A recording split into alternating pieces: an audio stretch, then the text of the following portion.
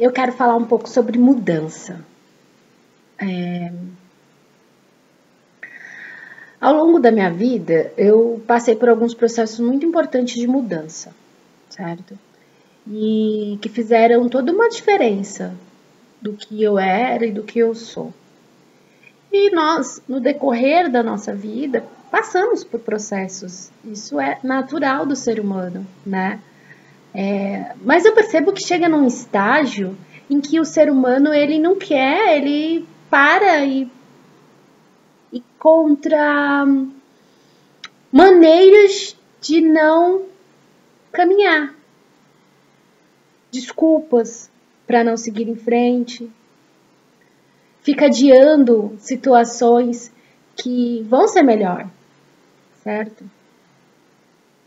É... Quando estamos em contato com a emoção, geralmente isso acontece, quando a emoção está aflorando, né? Quando há vínculos para que, que, em que o desapego se torna muito desafiador. Acho que essa é a, essa é a, a palavra, desafiador. E eu proponho você abrir teu coração para mudança, para transformar a sua vida, aceitar que é uma fase que é vital, que você precisa passar por isso, sabe?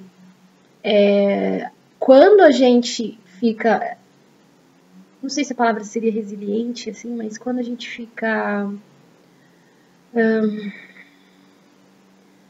empurrando com a barriga, procrastinando, acho que né, não sei se procrastinar, mas enfim, a situação, você só está é, trazendo mais transtorno para si mesmo, porque você precisa passar por esse processo, você tem que passar por esse processo processo faz parte. Muitas vezes uh, tem que acontecer e você fica fugindo. O medo, você deixa o medo falar mais alto, te controlar. Você permite que o medo tome conta da situação. E muitas vezes você se deixa levar pela situação e isso não é legal. Porque quando a gente deixa se levar pela situação, pode acontecer qualquer coisa. E será que você está preparado? Na maioria das vezes, não. Porque se a gente não está preparado para mudar aquilo em que é, a vida pede para que seja mudado, como é que você vai estar preparado para algo que você não sabe que é? E claro, né? no decorrer da vida, situações são inusitadas, então a gente não tem controle sobre isso. E eu acho que esse é o mais gostoso da vida, você não tem controle sobre as situações. Mas é legal você saber o que você quer, para onde você vai, o que te faz feliz. Essas perguntas você tem que responder. Porque teu, a tua direção se torna mais tranquila, o teu caminhar se torna exato. Você simplesmente vai, sabendo onde quer ir é, no decorrer do caminho você não sabe se vai ter pedras, chuvas, tempestades, como vai ser, né? Essas mudanças climáticas de caminhada, de jornada, mas vai.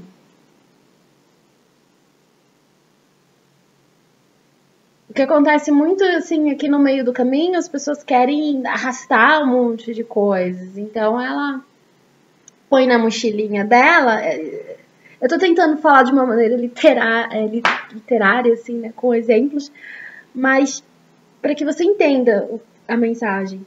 Então, a jornada tá aí à sua frente, você tem que seguir a jornada. E aí, de repente, você quer levar uma mochila pesada, com guarda-chuva, com protetor solar, com capa de chuva, com, com roupa de calor, com roupa de frio, com uh, com bota, com sapato, e aí a jornada vai ficar cansativa, porque você está carregando muito peso, cara, desnecessário. Muito peso desnecessário. Onde está a sua fé? Onde está a confiança em você? De que na trajetória, vão sempre ter bons samaritanos para ajudar você. Nós seres humanos, a gente é, precisa, precisamos do outro. Muito. Precisamos do outro para nascer. Precisamos do outro para crescer, para desenvolver. Precisamos do outro para aprender. É, estamos num, numa experiência de relacionamentos. Relacionamentos com amigo, com o pai, com a mãe, com o esposo, com o filho, com o patrão, com a empregada, com o chefe, com o mundo. E são nesses relacionamentos que aprendemos e evoluímos. Mas vive-se tanto no automático que não presta atenção. Então, quem sabe nessa jornada, com uma mochila mais leve, somente com o necessário. O necessário.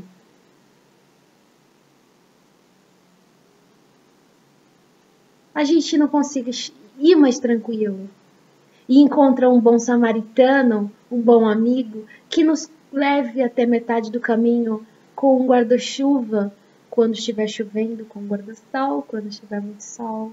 Nos empreste um pouquinho do protetor solar dele. E nós também, na nossa mochila, tiramos alguma coisa que pudesse ser útil para alguém lá na frente.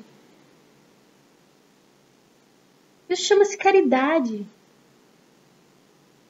Caridade não é só o fato de você ir lá uma vez por mês fazer uma doação para uma ONG, mas é mais você estar tá mais presente na vida do mundo.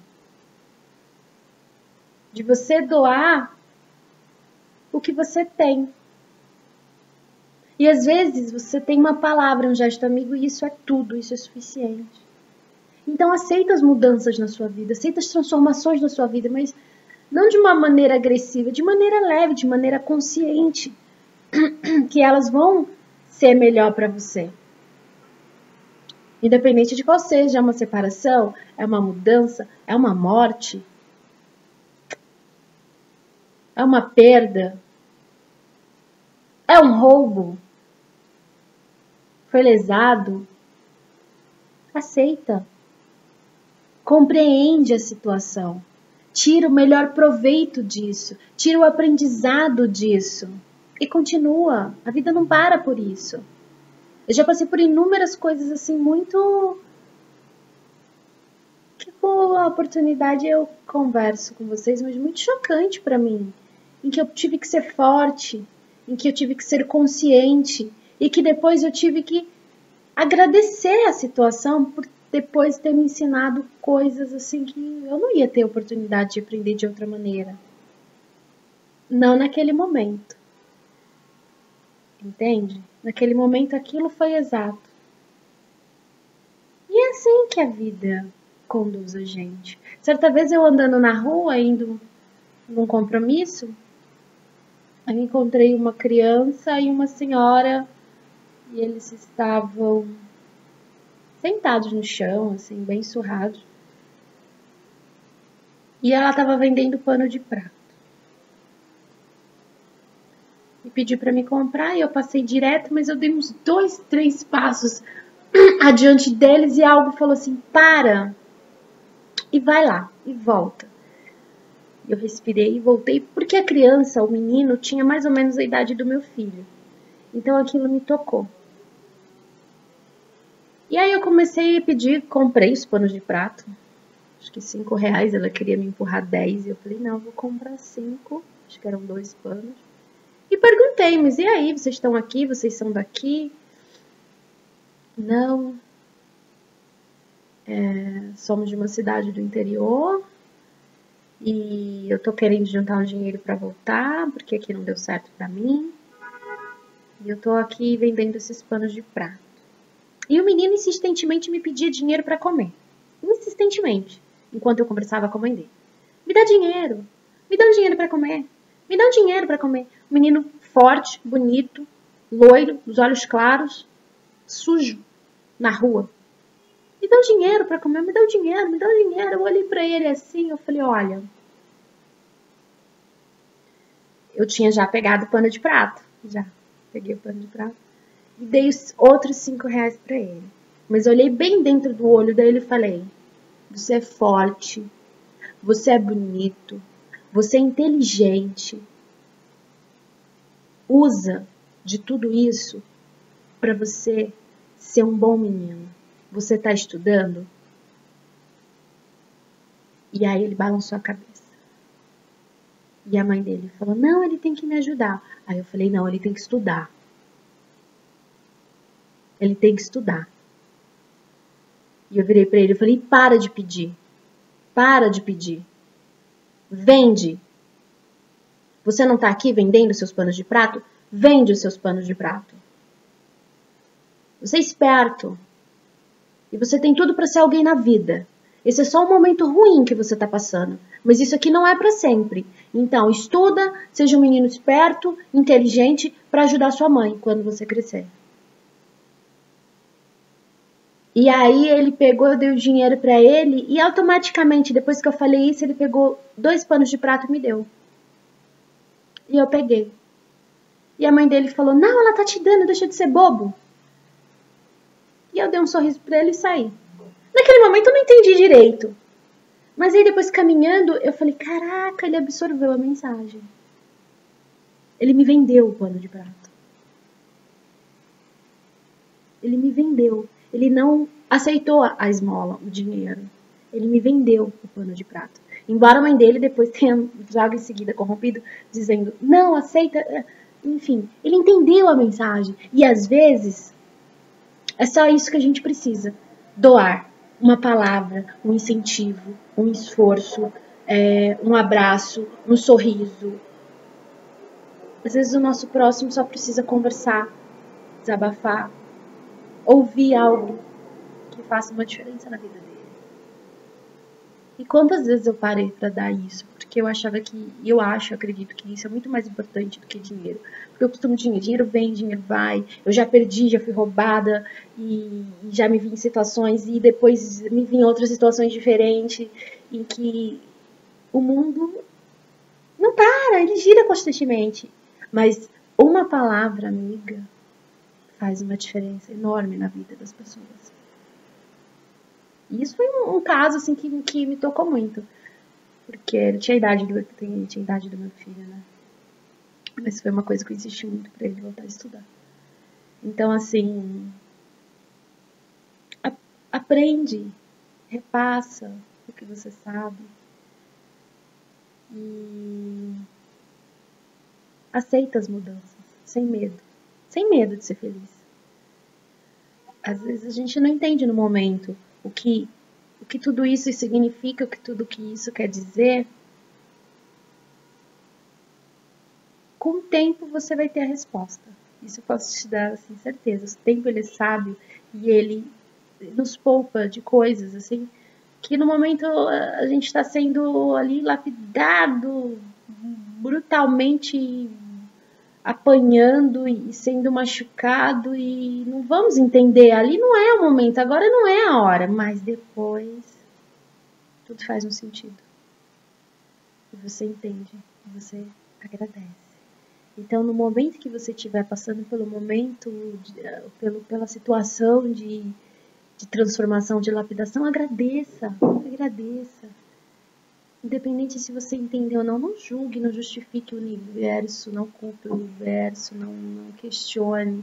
Isso não é momento para isso. É a hora de você aceitar a transformação e permitir que ela faça a diferença na sua vida. Então vamos lá. Mudança. Aceita. E ela começa de dentro para fora remoendo, tirando tudo aquilo que não te faz bem, tirando toda aquela energia estagnada de angústia, toda aquela energia de raiva, de ressentimento, de remorso, de inveja, de ciúmes. Tira isso daí, isso não é seu. Você é um ser humano lindo e você é um ser humano autossuficiente, você é um ser humano capaz de ser muito melhor do que você é agora. Se você acha que você tá bom agora, poxa, você pode ser muito, muito, muito, muito melhor. E você tem uma vida inteira para ser muito, muito, muito, muito, muito melhor. Então seja esse muito, muito, muito melhor. Vale a pena, vale a pena. É só para isso que a gente vem. Daqui a gente não leva nada, nada a gente leva. Só a essência. E a essência é que deseja a transformação, deseja a mudança. Então seja a mudança, como já diria Gandhi, que você quer ver no mundo. Seja a mudança que você quer ver no mundo. Comece na sua casa. Comece com seus filhos, com seu esposo, com seu companheiro, com seu namorado, com sua namorada, com sua mãe, com seu pai. Comece de alguma forma. E essa energia se espalha. Então, essa é a mensagem de hoje. Não me estendendo mais, não prolongando. Se você gostou, curte, compartilha, deixa seu comentário. Tiver alguma dúvida que eu posso responder, aí vou estar respondendo com carinho. E uma boa semana para você.